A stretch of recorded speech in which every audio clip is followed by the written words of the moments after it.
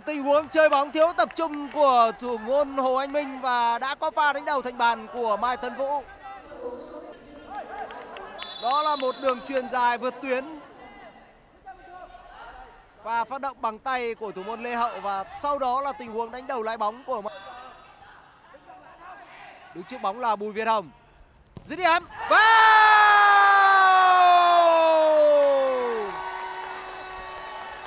Cú sút cháy lưới của Trần Văn Ngọc. Huỳnh Văn Lê Hậu đã không thể phản xạ.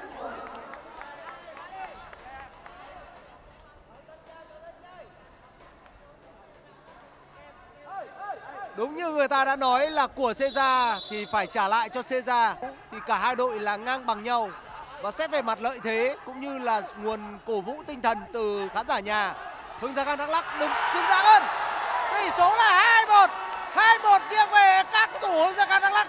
Pha ghi bàn của nhà sau khi để cho đối thủ sớm có bàn thắng vươn lên dẫn điểm trước.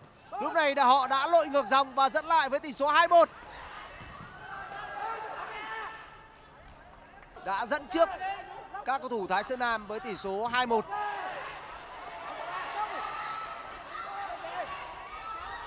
Đường chuyền 3-1 3-1 nghiêng về các cầu thủ Hưng Gia Khang Đắk Lắk một pha phản công sắc bén của đội chủ nhà và Hồ Duy Hải là người nâng tỷ số lên 3-1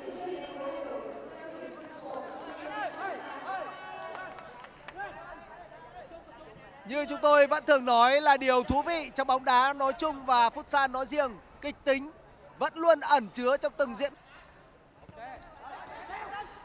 Minh Quảng. Dứt điểm vào.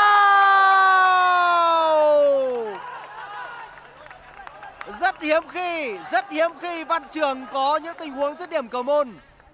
Ở pha bóng, một pha giật bóng mất hướng đối phương và sau đó là tình huống dứt điểm kỹ thuật để rút ngắn tỷ số xuống còn 2-3. Phan Thanh Nguyên